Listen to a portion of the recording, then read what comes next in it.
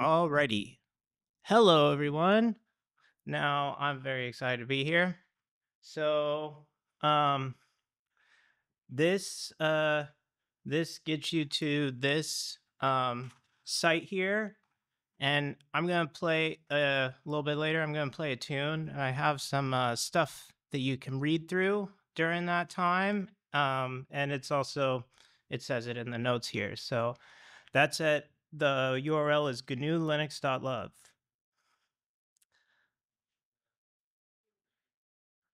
Okay, so what is free software? Free software, flow software, software that respects users' freedoms and human tech rights. What are our human tech rights? Everyone has a right to privacy, security, repair, internet, and speech. I have a list of music tools here.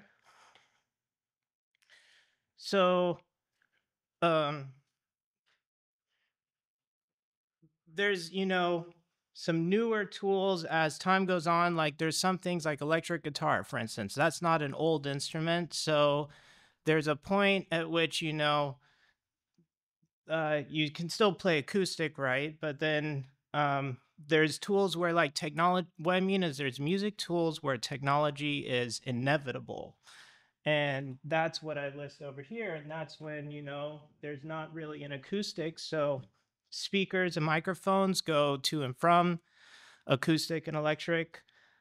Um, so um, for there's a lot of modern music, what we need to do is use a computer. So um, and then I'll talk about this skip fretting or skip tuning.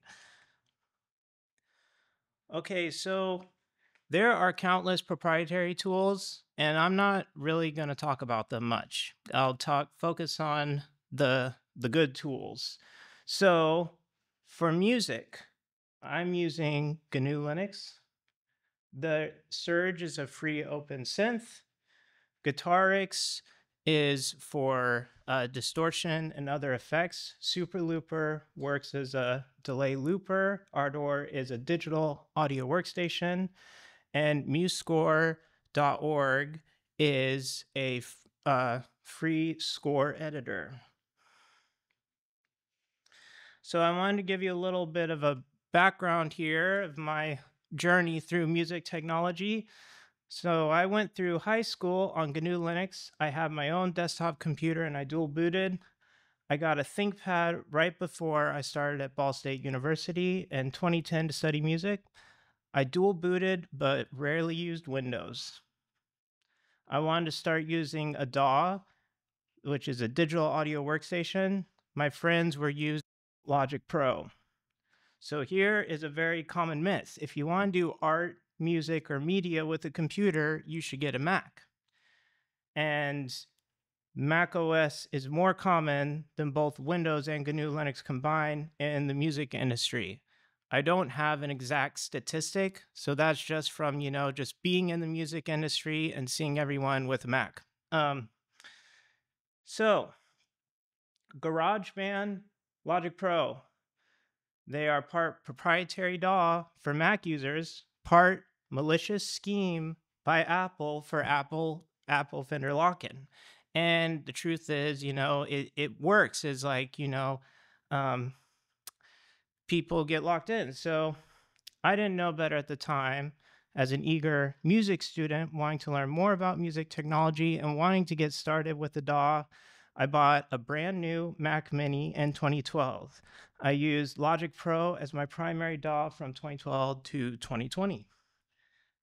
So I actually have that computer right here. And you might be wondering, why did I bring this to this conference? But I want to assure you, it's first of all running GNU Linux. And second, all, second of all, it's only doing the slides here. All the sound is coming from my other GNU Linux laptop over here. And also, I have on purpose not displayed the Apple logo, and I will put it away now face down.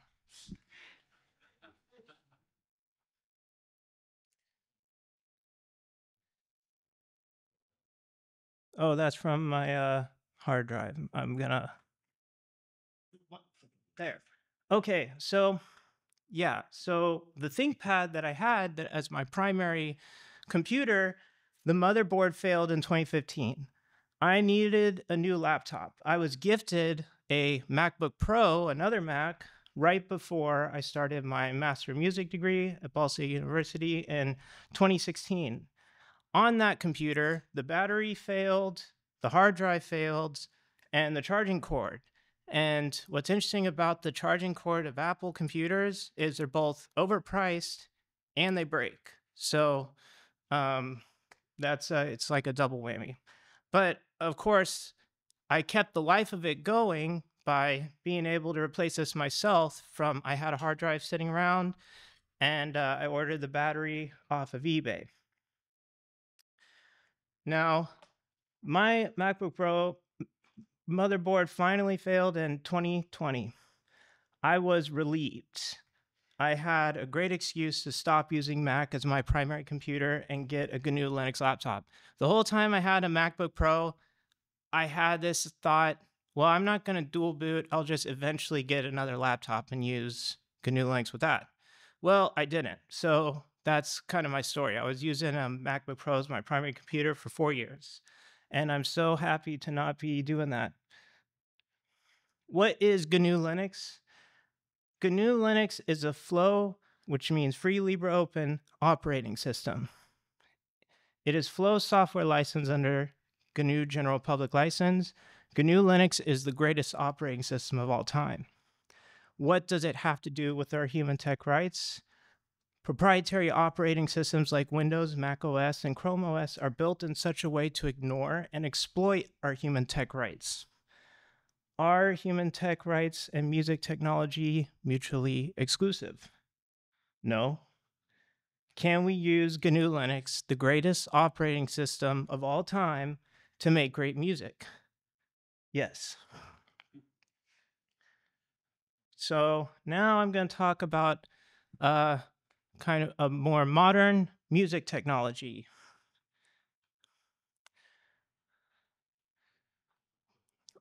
Matthew Autry discovered skip fretting more than a decade ago. It is a microtonal guitar fretting that allows you to play in larger Edo's such as 41 Edo and 72 Edo. Every fret is a multiple of Edo steps. Matthew has made instruments in 41, 53, 65, 72, 87, 118, 130, and 183 Edo. Skip fretting is a revolutionary music technology which is flow and not patented. So, oh yes, you got a question? What what? Yes, so um, it means equal division of the octave, and it actually is down below because I know that I'm saying some terms that are new, but that I did make sure to uh, put some notes down below for for some reading as I play this uh, keyboard over here. And uh, 12 Edo is the standard tuning of of now. When you go to a music store, the instruments are filled with 12 divisions of the octave. Now, I did bring, I won't play this today, but I did want to show. So, this is one of Matthew's instruments. This is 130 Edo. Each fret is four Edo steps. So, the fretting is 32 and a half Edo. And that's because 32 and a half times four is 130. So, across four strings is how you get all the notes of 130.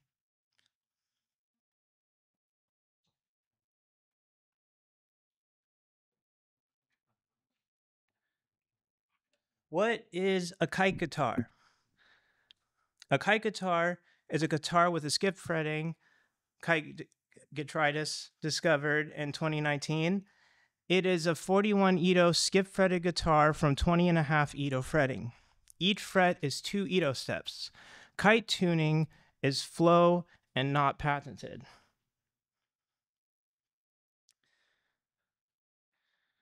This is over here.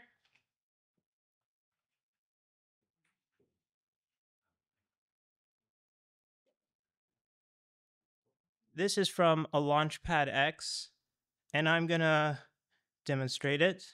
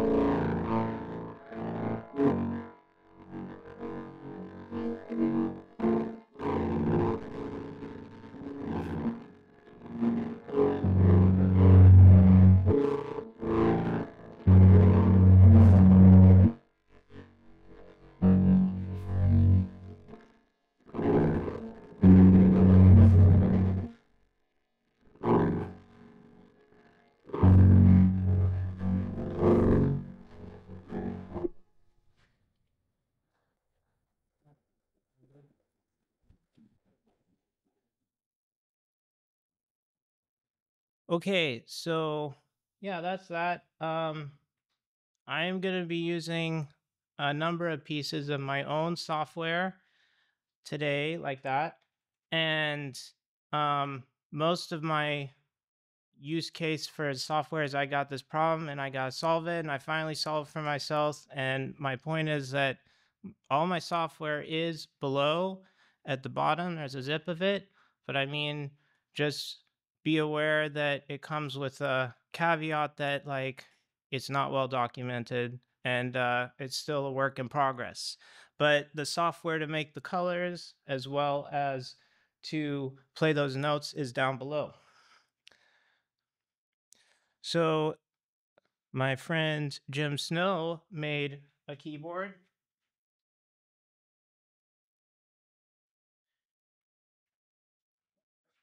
And uh, what's cool about this keyboard is that every key on it is the frequency ratios are listed on the keys. So this is just a, I mean, I wish there were more instruments like this. There just aren't, but it's actually, it's basically not in the Edo system. It's in the frequency ratio system. So I'm going to be playing a tune here. I originally wrote this tune for kite guitar, the score can be found there. The score and playback was made with musescore.org. I'm going to play a modified version of the source code today on Jim Snow's keyboard. This music is Flow software. As I play, read below to get caught up on some basic and fundamental microtonal theory written for all. My text does not assume previous music training or experience. Here's that question about what an Edo is. That's the next one. So meet me back here. Meet me back at the section titled Back to Computers.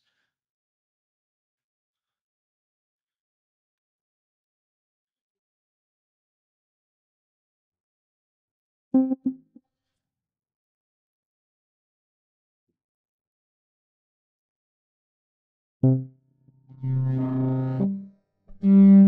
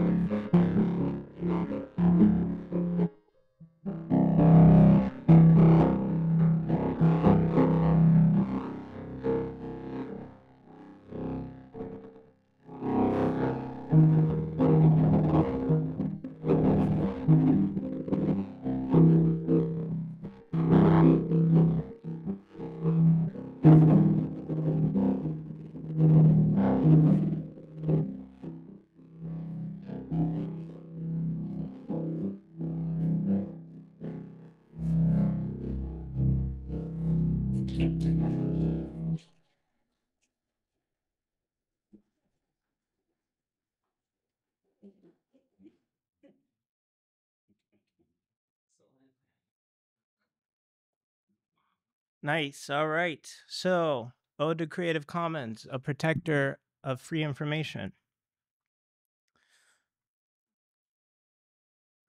If you if we have questions, we can go back over some of this stuff, you know. So don't don't worry.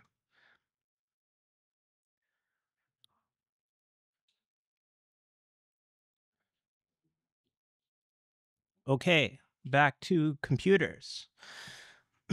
Above I described the importance of the harmonic series. I have mentioned Aristoxenus, Ptolemy, and Pythagoras. These are ancient Greek philosophers. Though these notes are so old and based on the harmonic series, few musicians can play them. We need tools to help us out. There's an unsettling amount of proprietary music tools all around us. People just assume that any given music tool is proprietary. This is evident just from how many musicians are trapped in the Apple world. Musicians who don't use Mac OS often instead use Windows. Now, as more and more people are learning about where 12 Edo falls short, we are seeing more and more software released for untwelve tuning. Let us take a moment and ask ourselves should we be trapped by non free software tools just to experience notes that are decades, centuries, or millennia old? Do we need non free software to experience notes that are not from Western music tradition? Do we have to give up our human tech rights just to use music technology at all? Absolutely not. What is the next step? We need to know about and tell people about flow tools. This is the chart that I that I had up there earlier. GNU Linux, Surge, Guitarix, SooperLooper, Ardour, MuseScore.org. And then here's a link to the source code. All right. Oops. Flow Software is democracy of the future. Together, we can liberate technology. GNU Linux loves all. Now, I will take a moment to um, describe in more detail some of these things. So, I wanted to talk quickly about uh, delay looper.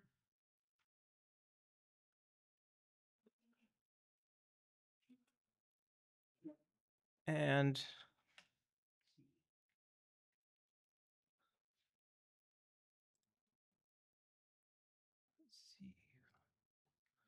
Okay. So I want to talk a little bit about some hardware tools. So um, uh, guitar pedals. Um, I've been using them for a long time, and I mean they work great with violin. I use them more often with violin. So here's a delay pedal, and and uh, this one here. Oops.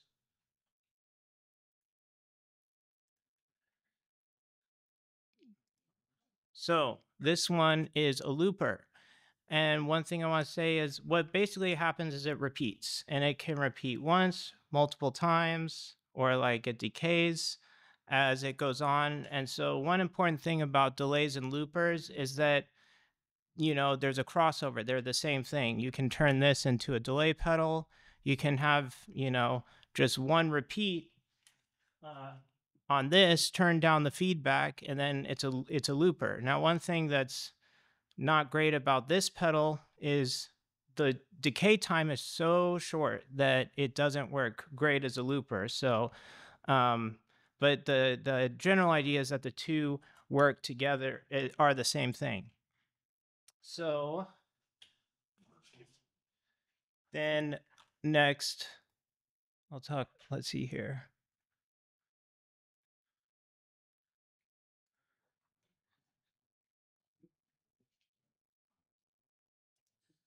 So now this is a distortion and it does say bass on it. Now at the very high notes, it, you know, well, I actually use it for violin. I've used this pedal for a long time, so it still works even though it, it says bass on it. Um, and uh, these these tools are um, the pedals in general are pretty, you know, relatively pricey compared to a computer you can find in a closet. And um, so that's kind of what what I'm getting at here is well the next thing I actually have to talk about is uh focus or uh USB audio interface. So this is what how basically you get um sound to and from the computer and this is an important step if you're trying to do music with a computer. Now there is a a really big issue with for some reason like all these companies that are that are making these you know hardware like this they're i mean it's pretty weird they uh they for some reason don't always like to list GNU Linux as an option or that it even exists, which is weird because like I said, greatest operating system of all time. You know, it's like we need we need to be able to use good tools on good operating systems that respect our human tech rights. So when, what I want to say about um, interfaces specifically is if you're looking for an audio interface, make sure it's class compliant because um, for some reason, companies are not. Uh, they go to make if they make a driver, they make it for Windows and Mac first, and um, sometimes forget about you know our great friend. Um, but if you get it USB class compliant, that means you can plug it in. So, for instance, the Scarlett Focusrite, if you look on their website, it doesn't mention GNU Linux, but since it is uh, USB, so you don't need to download a driver, so it's not operating system specific, and that's what you should be looking for if you're to get um, interface. So then this essentially becomes a uh, pedal like like that does over there, and this is a great way to to be able to um, experience experience pedals without having to buy every single one and that's where that's something that is where a plus of computers comes in where we can we can um, experience these without having to you know these are a lot of money and um, oh i didn't so well actually this uh this one here new when I bought it used off of eBay, I think over $300 um, uh, many years ago, and new, I think, is 500 This one over here, Strymon Big Sky, I've had this for almost 10 years. I bought it new for $500. And this is a reverb pedal. And what I have found um, that I got excited about is a way to use Surge for reverb because eventually I still use pedals when I'm performing and I still have a pedal board, but also it depends on the kind of music I'm doing. But because sometimes I go straight into this. Um, and um, more and more I'm looking to basically not use pedals and have a, a, a recreatable system you know where in most importantly it's not it's not an apple computer you know it's like it's it's just something that you can plug in and then it's free software and you can you know put it on the computer you find in your laptop or i mean in your in your closet. So that's a that's a goal of mine.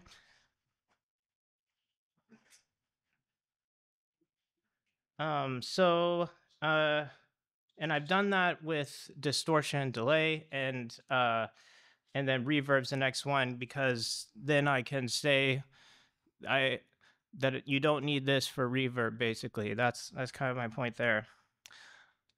I have in 2018 I built where uh oh I don't have it here. Uh, I just have it right here. I built this this tool in 2018 this is a USB MIDI interface. The code for that is also in the zip file and um, it runs, it's just, uh, so you can use the Arduino IDE to program this. And some of the things I haven't gotten around to doing yet is making it so that it shows up as a USB MIDI device as soon as you, you know, plug it into the computer. Um, and also software serial. It's, uh, when you use software serial, you can't read and write at the same time, which is important if you want to write a MIDI message and read one at the same time. So MIDI is a serial, um, is a is a uses serial to send it over um, and and back, and then of course with you know something like this, this is a Wemos D1 Mini. It's a four dollar board, super accessible, and it has Wi-Fi on it, um, and it has just the RX and TX pins for serial. It just has one serial port, and that's used for the USB. So actually, what I did was I included a driver that um, takes that reads from the device and then and then um, turns it into MIDI messages on the computer.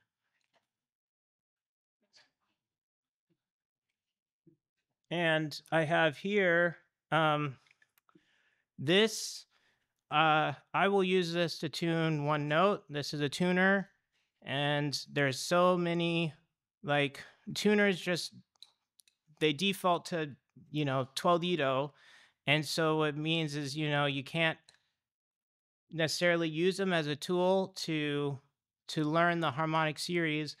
What's important to see where this comes in is there's two ways to count up basically and it's a uh, you know, by multiple. And one is hertz, right? So you count up by one hertz each time or a hundred cents each time, you know, or a multiple. And that's what I'm showing over here. So this over here, each note is plus 110 hertz.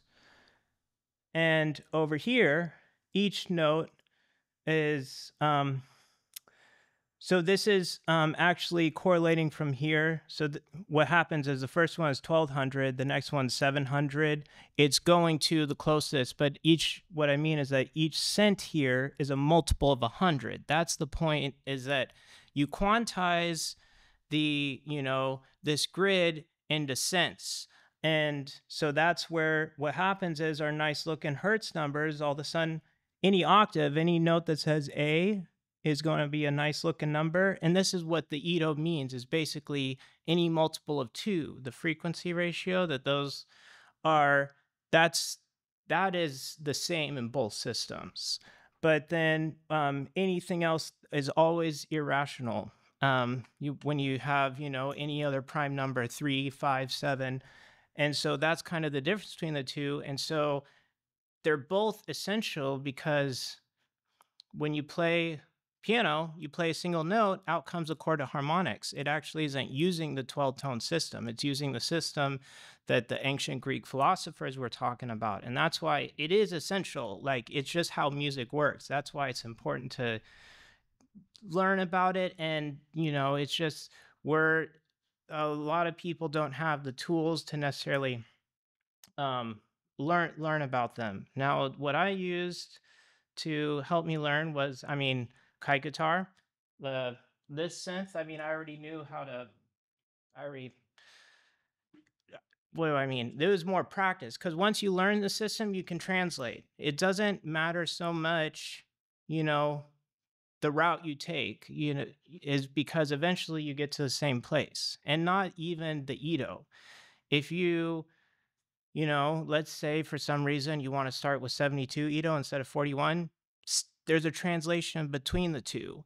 And so, um, but, um, so yeah, anyway, that's, that's the point there. So I want to say about distortion delay. The reason I brought those up specifically is that that's a great way to get started with this is that delay is, you know, used by, uh, use that to turn a monophonic instrument that only plays one note, turn it into a polyphonic instrument. That way, it's always easier with this when you're working against a drone or a second note. That's how you can hear the notes. And then once you put that through distortion, also distortion, it richens is distortion is a just intonation harmonic series device. What it does is you send it a sine wave, it makes it more complex. It adds harmonics. So then when you have two notes together, it will show better the um, the it'll show better when they're lined up by frequency ratios. That's what I mean is that it'll sound dirtier if if you're not getting a good alignment and when you do it sounds cleaner. And so that's specifically why I mentioned those two effects, distortion and delay, is that you can use those to um, to learn the system. Also surge as well. It has a way that you can tune the notes by, you can put in um, a custom tuning. So when you plug in a keyboard, then you can just get started with, um, with putting in frequency ratios. And then of course, when you have a sound, you run a filter over it. Well, it's already doing, it's already going up the harmonic series scale.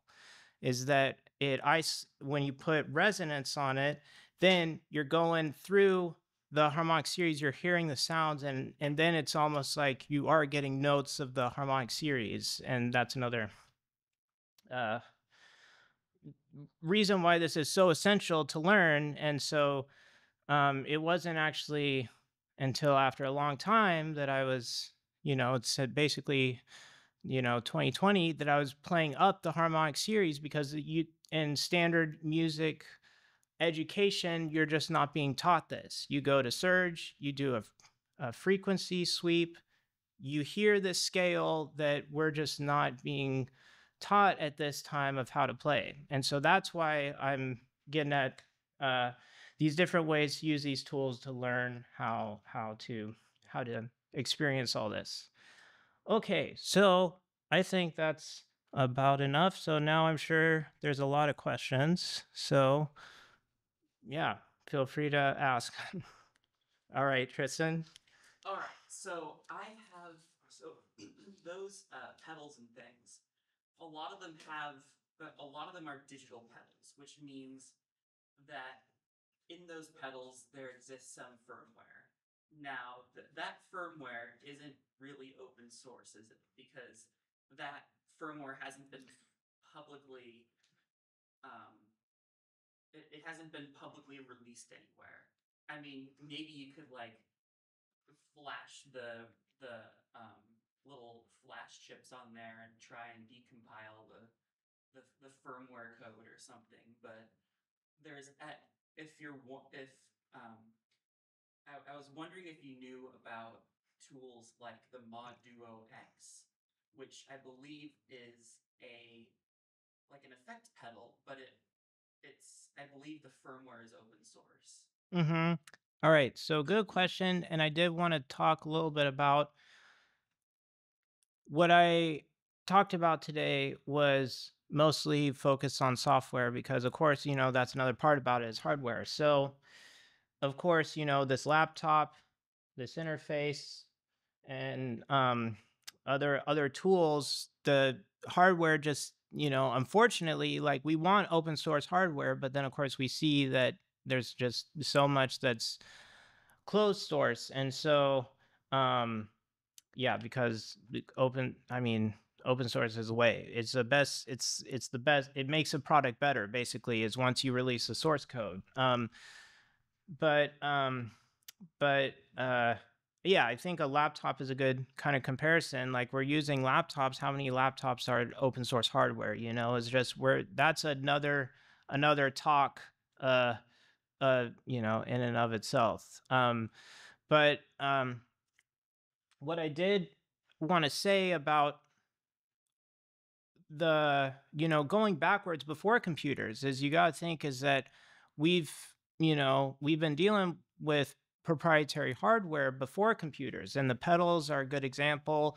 Um you know uh when we the first guitar pedals that we started using um there's just a trend you know for for some reason people ha- have this idea that once you make a cool technology you should not release the hardware or the software. That's the you know what the what we're you know going up against. However the positive side of it is that what once you have software all of a sudden you have something where you don't have to even recreate uh, another device of hardware. It's essentially free to copy software and software is the sense now we have a way with these tools.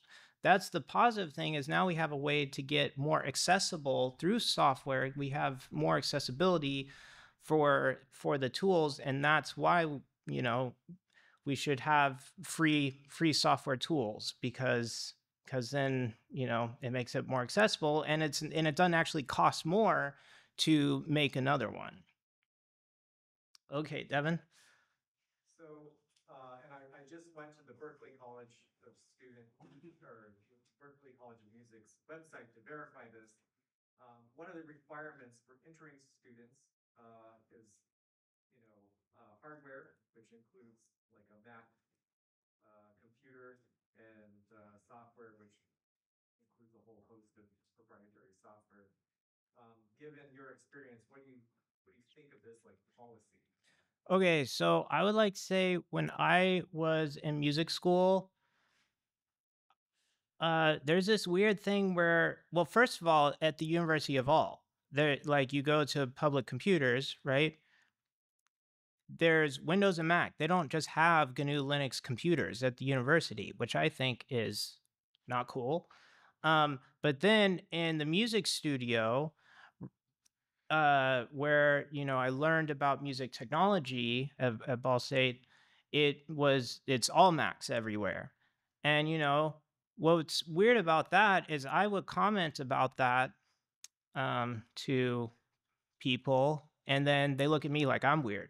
Uh, and so yes, it's it is you know it is a problem that we're we're dealing with and that's and the idea is that there are alternatives so that's why when you have a FLOSS software alternative you should use that because even if it needs uh, more development more work anything that happens with that it's free for everyone forever.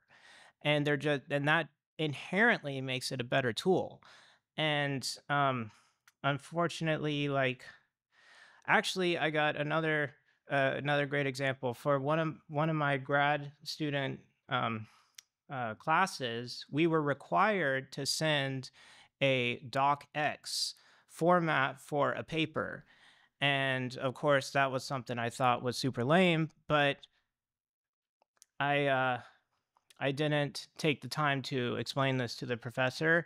Instead, I use the uh, free Windows, you know, free in quotes what they give to students is they give you access to Microsoft Office when you're a student at no cost. And of course, you know, I take advantage of that, download that for my DocX, and then, uh, you know, and try to avoid that. But you see, there's the university is just filled with this problem, and education in general is that people just they think that oh, this is the way we got to use these tools, and they just assume that proprietary is the way. And so, as far as what you mentioned, well, I'm glad I already completed my music school and that I'm not up against that because um, that sounds, you know, like a, like a bad time.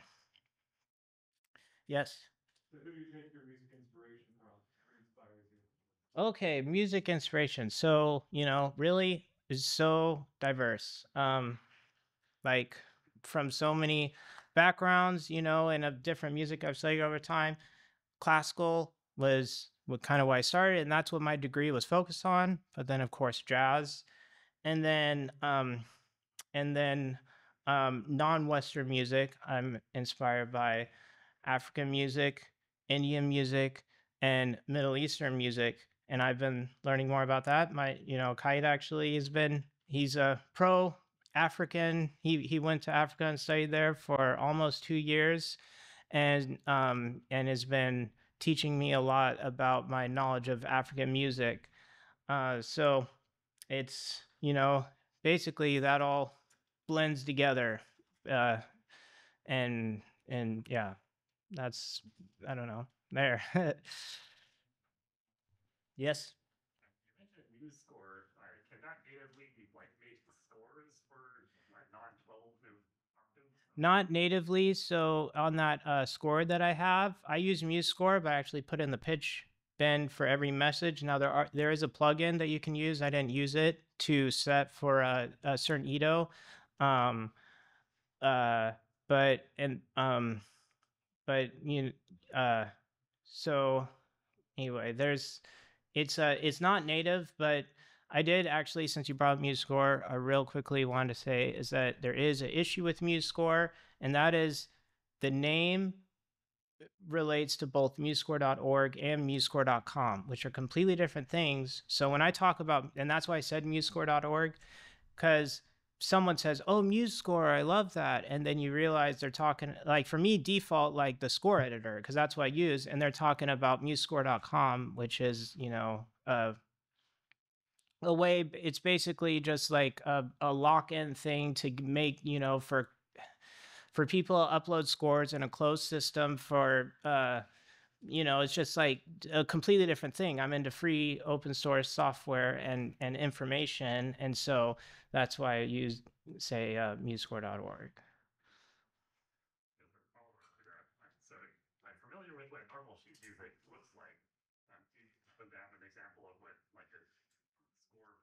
So on my link for Ode to Creative Commons, I have a PDF up there, uh, and you can read read the PDF. And I also have playback from from MuseScore from the tune playback, uh, and um, I would click it right now, except for I've been having internet trouble, and right before the talk, I was copying images over because I couldn't access my website, and that was uh, uh, um, very exciting to say the least, up to the last minute. but feel free to check check out that for some sheet music. Okay, yeah.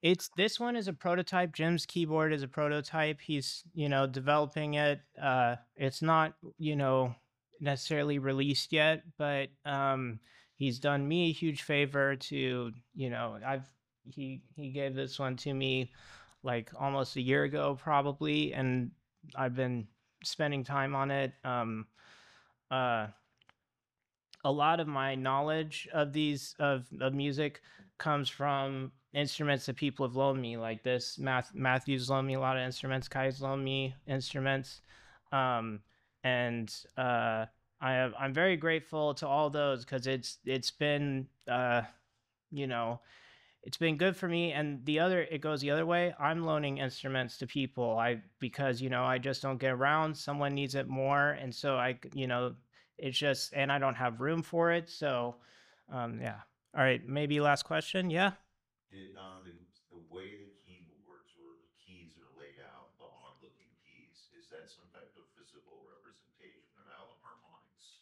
The different waveforms overlay, or what is that, why are they Or- that way? Yeah i'll uh actually i'll so that's a good question.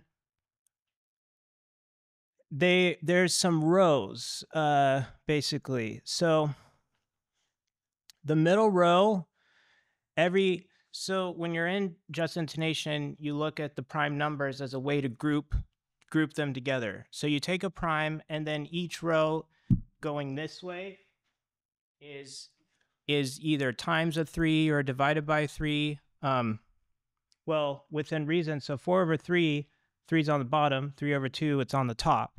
So going this way that's the way to orient everything. So the three row is in the middle. Five over row is here.